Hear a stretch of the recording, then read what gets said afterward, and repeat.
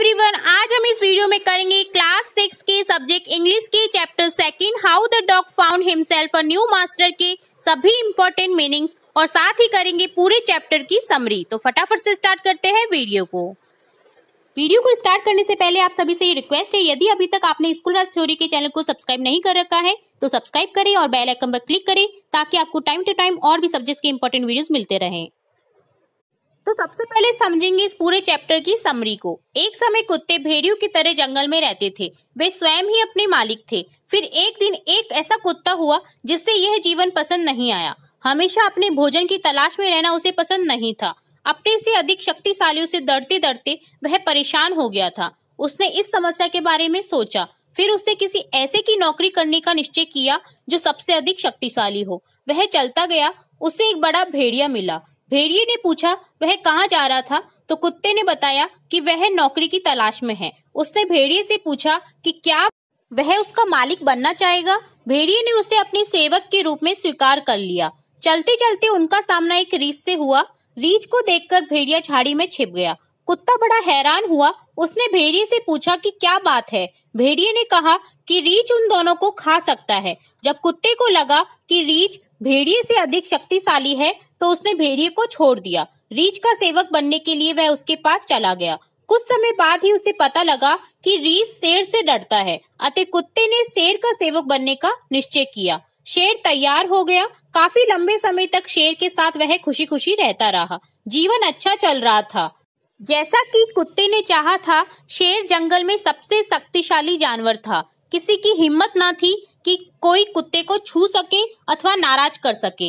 एक दिन कुत्ता और शेर एक तंग रास्ते पर साथ साथ चल रहे थे। शेर को आदमी की गंध आई और वह कुत्ते से बोला कि वह उसके साथ भाग चले, वरना उन पर मुसीबत आ जाएगी। अतः कुत्ते ने शेर से विदा ली और आदमी के पास आ गया।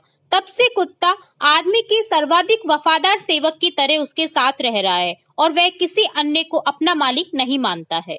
तो ये थी इस पूरे चैप्टर की समरी अब देखेंगे इसके इम्पोर्टेंट मीनिंग फ़र्स्ट मीनिंग है मास्टर मास्टर यानी मालिक.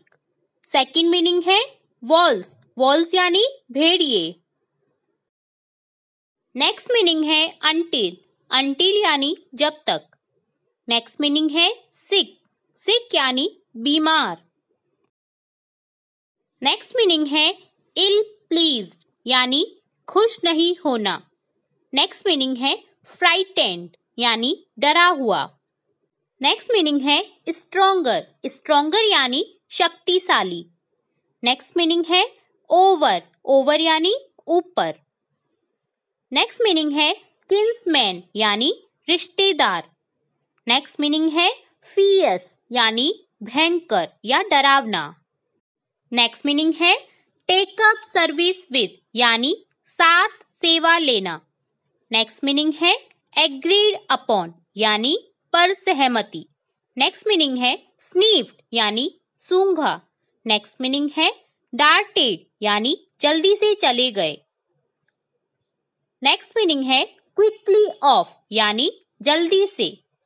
नेक्स्ट मीनिंग है बुशेज बुशेज यानी झाड़िया. नेक्स्ट मीनिंग है बियर बियर यानी भालू या रीछ. नेक्स्ट मीनिंग है रिडीली यानी आसानी से. नेक्स्ट मीनिंग है कम ओवर यू यानी तुमसे प्रभावित. नेक्स्ट मीनिंग है फिल फिल यानी नियुक्त होना. नेक्स्ट मीनिंग है कम अप यानी ऊपर आओ. नेक्स्ट मीनिंग है मोइंग मोइंग यानी रांभना. नेक्स्ट मीनिंग है लाउडली यानी ज़ोर ज़ोर से या चिल्लाना। नेक्स्ट मीनिंग है पैनिक पैनिक यानी घबराहट। नेक्स्ट मीनिंग है हास्टिली यानी जल्दी से। नेक्स्ट मीनिंग है स्ट्रोंगेस्ट बीस्ट यानी सबसे मज़बूत जानवर। नेक्स्ट मीनिंग है कंप्लेन यानी शिकायत। नेक्स्ट मीनिंग है ऑफेंड यानी नुकसान पहुंचाना। नेक्स्ट मीनिंग है सडन सडन यानी अचानक। नेक्स्ट मीनिंग है डेयर यानी हिम्मत। नेक्स्ट मीनिंग है ग्रेट रोर यानी महान दहाड़ नेक्स्ट मीनिंग है स्ट्रक यानी मारना। नेक्स्ट मीनिंग है एंग्रीली यानी गुस्से से। नेक्स्ट मीनिंग है पॉ यानी पंजा। नेक्स्ट मीनिंग है अमीड बेयर क्लिफ्स यानी नंगी चट्टानों के बीच। नेक्स्ट मीनिंग है बिगेन बिगेन यानी शुरू हुआ। नेक्स्ट मीनिंग है क्विकली यानी चुपचाप। नेक्स्ट मीनिंग है सरप्राइज़ यानी आश्चर्यचकित। नेक्स्ट मीनिंग है ट्रबल ट्रबल यानी मुसीबत। नेक्स्ट मीनिंग है फेथफुली फेथफुली यानी ईमानदारी से।